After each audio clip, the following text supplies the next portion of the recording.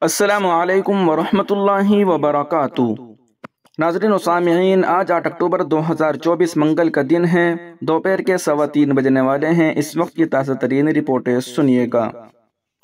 اس video کے اندر آپ کو کئی رپورٹیں سنائی جائیں گی۔ آپ سے درخواست ہے کہ ویڈیو کو مکمل دیکھیں اور اپنے تمام دوست و احباب کے پاس اس ویڈیو کو شیئر فرمائے اور ویڈیو کے نیچے سبسکرائب والے آپشن پر کلک کر کے اس چینل کو سبسکرائب ضرور کر لیجیے گا۔ ہمیں آٹھ سے دس اراکین چن کر دے، پھر دیکھے کون گستخانہ بیان دیتا ہے۔ اسدین اویسی کا خطاب وائرل کہا مسلمانوں کے حالات اس وقت تک نہیں بدلیں گے جب تک ان کے اپنے نمائندے نہیں ہوں گے۔ مجلس اتحاد المسلمین کے سربراہ اسدین اویسی نے تلنگانہ کے دارالحکومت حیدرآباد میں واقع نظام آباد علاقے میں ایک جلسہ عام سے خطاب کیا۔ یہ جلسہ یوں تو حالات حاضرہ کے عنوان سے منعقد کیا گیا تھا، لیکن اس میں مہاراشٹر الیکشن کا معاملہ بھی چھایا رہا۔ اسدین اویسی نے کہا کہ آپ مہاراشٹر میں ہمیں آٹھ تا دس اراکین اسمبلی چن کر دیں، اس کے بعد دیکھیں کہ کون گستخانہ بیان دینے کی کوشش کرتا ہے۔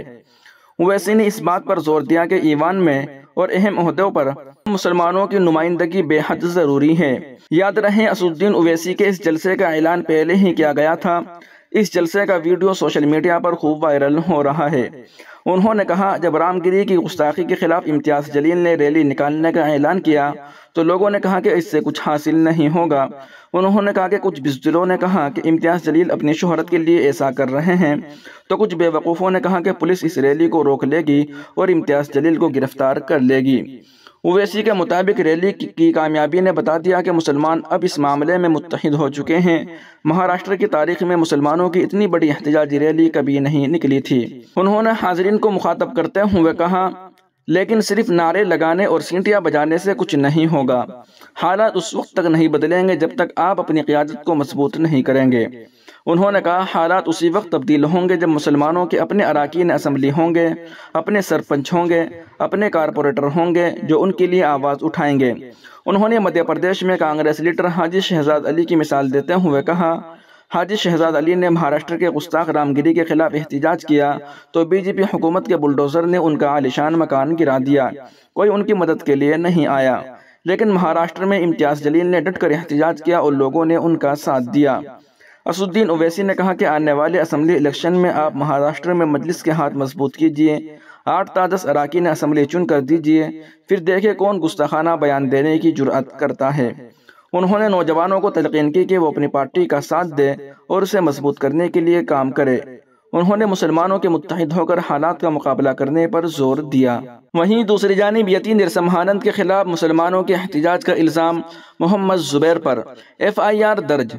ملعون شدت پسند کو گرفتار نہیں کیا گیا۔ غازی آباد پولیس کا اعلان، حراست میں لینے کی بھی تردید کی۔ داسنا میں یتی کے خلاف احتجاج پر چھ مسلم نوجوان گرفتار۔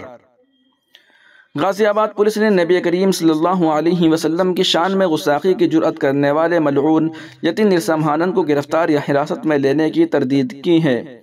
البتہ یو پی پولیس نے ڈاسنا میں یتی کے خلاف مسلمانوں کے احتجاج کا الزام آٹھ نیوز کے محمد زبیر پر عائد کر کے ایف آئی آر درج کر لیے ہیں۔ اس کے ساتھ ہی ڈاسنا میں مذکور احتجاج کی پاداش میں چھ مسلم نوجوانوں کو گرفتار کر لیا گیا ہے۔ گرفتاری کے ڈرامے کے بعد صفائی۔ ڈاسنا کے مندر کے باہر مسلمانوں کے شدید احتجاج کے بعد سنیچر کو یتین نرسمہانند کو پولیس نے حراست میں لے کر پولیس لائن میں رکھنے کی اطلاعات آئی تھی۔ چوبیس گھنٹے بعد اسے کسی عدالت میں پیش نہ کیے جانے پر انقلاب نے اس کی حراست کو مشکوک قرار دیا تھا۔ اب پولیس نے واضح کر دیا ہے کہ وہ نہ تو اس وقت حراست میں ہے اور نہ ہی اسے گرفتار کیا گیا ہے۔ یتین نرسمہانند کو پولیس حراست میں لیے جانے کا دعویٰ اس کے حامیوں نے بھی کیا تھا۔ ایک ہندی روزنامہ کی رپورٹ کے مطابق ڈی سی پی دیہات این کے تیواری نے کہا کہ نرسنگھانند کو گرفتار نہیں کیا گیا اور نہ ہی اسے تحویل میں لیا گیا ہے۔ انہوں نے واضح کیا کہ پولیس معاملے کی تحقیقات کر رہی ہیں۔ اس کے بعد قانون کے مطابق کارروائی کی جائے گی۔ دوسری طرف سٹی پولیس نے ڈانسنا مندر کے باہر یتین نرسنگھانند کے خلاف کارروائی کا مطالبہ کرنے پر چھ مسلم نوجوانوں کو گرفتار کر لیا ہے۔ ان پر الزام ہے کہ انہوں نے نعرے بازی کر کے سرکاری کام میں رکاوٹیں کھڑی کی۔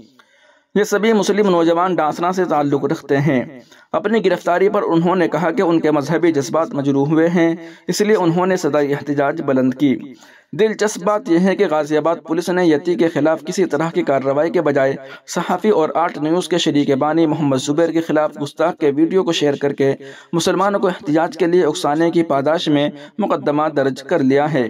محمد زبیر کے خلاف B J P leader Aditya Tyagi نے مقدمہ درج کر دیا ہے۔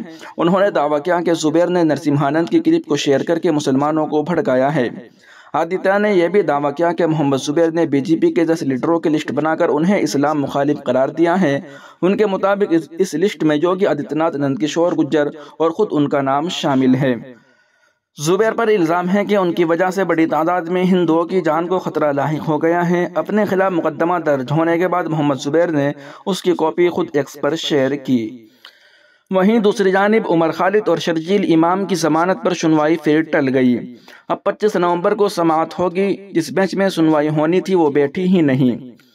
عمر خالد اور شرجیل امام سمیت دہلی فساد کی وسیع تر سازش کے کیس میں ماخوذ کیے گئے چھ ملزمین کی ضمانت کی درخواست پر سماعت بینچ کے نہ بیٹھنے کی وجہ سے پیر کو پھر ٹل گئی۔ اب اس معاملے پر اگلی سماعت پچیس نومبر کو ہوگی۔ پیر کو یہ کیس نئی سرے سے دہلی ہائی کورٹ میں جسٹس نوین چاولہ اور جسٹس شریندر کور کی بینچ میں سماعت کے لیے پیش ہونا تھا۔